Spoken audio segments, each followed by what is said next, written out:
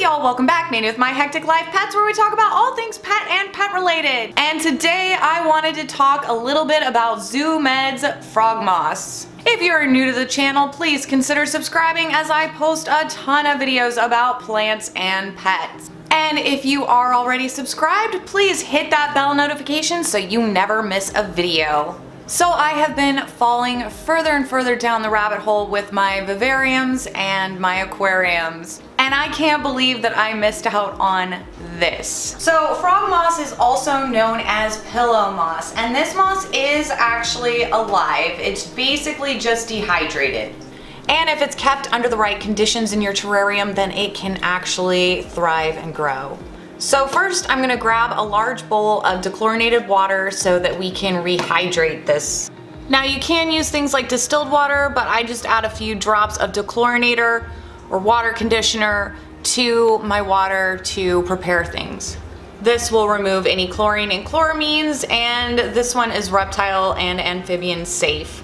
Sometimes water conditioners for fish will add extra vitamins and things for slime coat and stuff like that that you don't really need in your water and probably don't want. So when you first pull this out, it's gonna be in these little clumps and we're basically trying to rehydrate the moss. This is a little messy and I am the worst at messes anyway. So just kind of be careful and mindful of that. So then we're gonna basically wring it out the moss to try and kind of rehydrate it and fill it back up with water. And I'm gonna actually go ahead and let this sit and soak for about 10 minutes just to really, really make sure that it's nice and hydrated first. Now at this point you can just wring this out and go ahead and plant it in your vivarium. But today I want to do something a little different. I'm getting really into the idea of propagating my own plants. I have a million critter totes after my move because I used critter totes for just like everyone, all my frogs and my gecko and everybody. So I have a ton, a ton of critter totes. So I've already got this layered in. I've got a layer of small pebbles, I have a substrate barrier, and then I have a layer of active charcoal, and then I have my substrate, which is a mix of organic soil, peat moss, and some bark. And I am going to go ahead and plant some of this in here.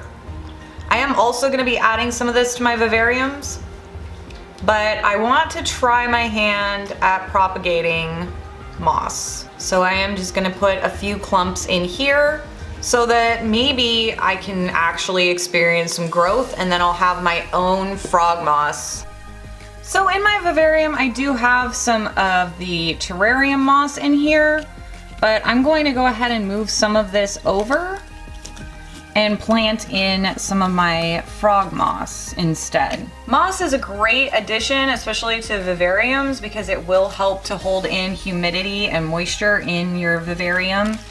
And I think it adds like a nice natural touch to the vivarium as well. And as this starts to grow in, I think it'll look really nice. And as I have been having a lot of problems with my humidity in my terrariums lately, ever since I moved, ever since I moved, I know it's been a lot colder here, so I have been running my heater like crazy because I don't like my temperature in my house to be cold.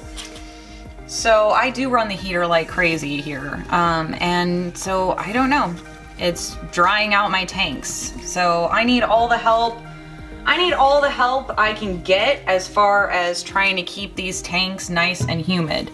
Now this type of moss is safe for most reptiles. I don't know that I would recommend using it in like larger frog tanks such as like pixie frogs or Pac-Man frogs. I will not be adding this to my Pac-Man frog tank, but once I get my plants ready and everything to put together my tree frog tank, I will be going crazy with moss in the tree frog tank, most definitely.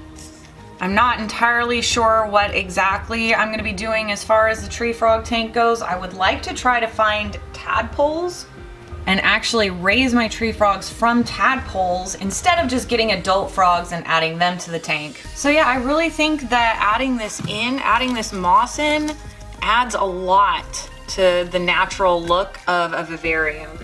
and I'm pretty happy with how this stuff is looking as I'm placing it. Now they say if it starts getting dirty and nasty, then you can actually take it out and wring it out and place it back in the tank several times before you would need to completely replace the moss. But I think if it's alive and growing, I don't see why you would need to replace it. But yeah, I think it really is adding a nice flair to my vivarium and I'm hoping that it really will help to hold in moisture and humidity because y'all I am spraying this tank now like three times a day. Because y'all I am having to spray the heck out of this tank at night to really get it to stay humid enough through the evening time. And when I'm waking up in the morning it's I'm having to spray it again. And you really want the tanks to be able to go through a drying period my drying period is happening way too quickly and I'm afraid for my gecko because they really need high, high humidity. I'm also a little worried about my Pac-Man frogs, but they seem to be doing okay. The Pac-Man frogs don't need quite as high of humidity as the crested geckos do, so I'm not really sure what I'm gonna do with that. I might have to buy a larger water dish or something to put in that tank.